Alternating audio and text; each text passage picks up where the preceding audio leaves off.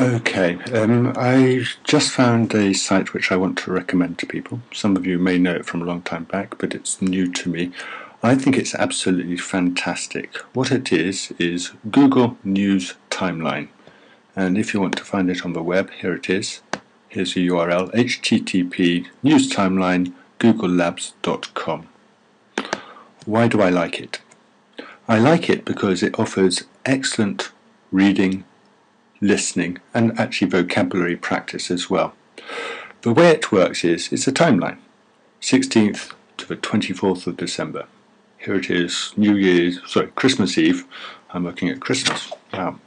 Um, and this is where it's kind of cool. We have different stories relating to the topic, they're all about Christmas. Now, what I can do, let's try and think of something different. I'm an IELTS teacher, I do lots of IELTS, so let's think of an IELTS topic. Let's go for health. Oops, try again. H E A L T H. Add query up top.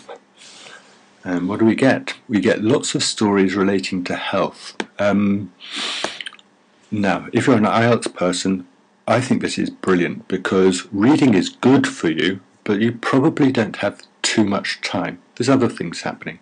So when you read, you want to read in a focused way. And this site allows you to do that. All of these stories relate to health.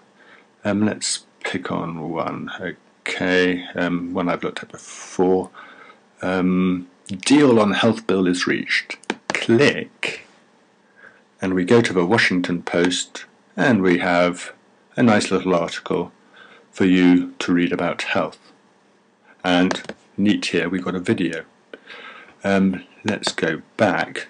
The other thing I really like about this, it collects videos too. Protest outside of closed nursing, nursing home. home. And so that gives you a little bit of listening practice as well in a focused way. And this is what I call a little but often exercise. You're not going to use this every day, I don't suppose, but two, three times a week would be great. And as I say, it's good if you want to read, but read in a focused way.